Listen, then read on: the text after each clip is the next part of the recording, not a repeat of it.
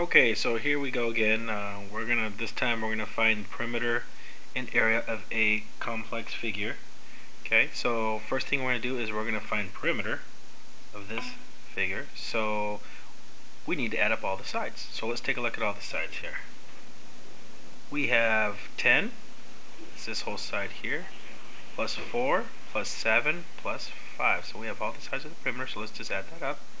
So we're gonna add 4 plus 7 plus 5 plus 10 and if you add that all up that will equal 26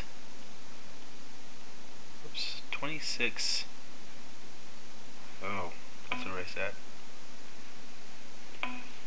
okay so that equals 26 centimeters Okay. So we'll write that here for the perimeter. Okay. Now area, a little different story here.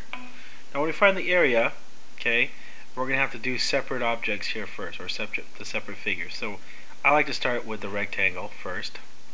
And if we remember the formula to find an area of a rectangle, it is base times height. So first we got to find the base.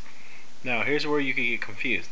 10 centimeters is down here at the base, but that's from this point all the way to this point here. Okay, so that's not the total base.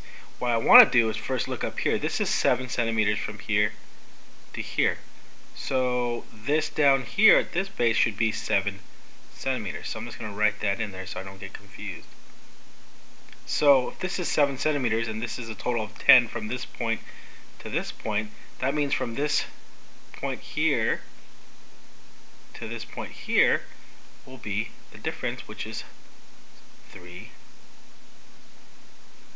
centimeters. Okay, so let's find the area here. So 7 is the base times the height, which is the line perpendicular to the base, so 7 times 4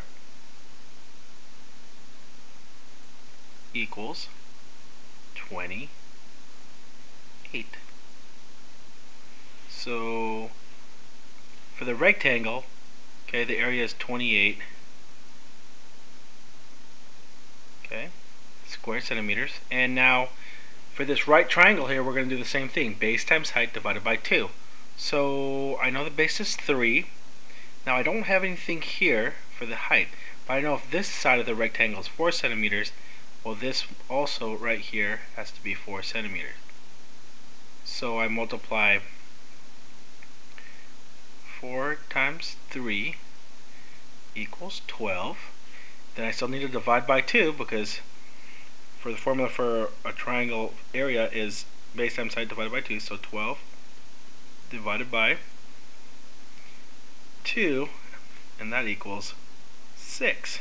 So I know the area of this triangle is 6.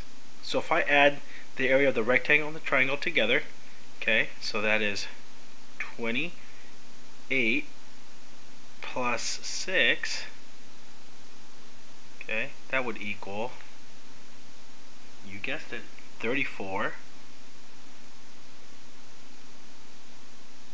Okay, so the area here is 34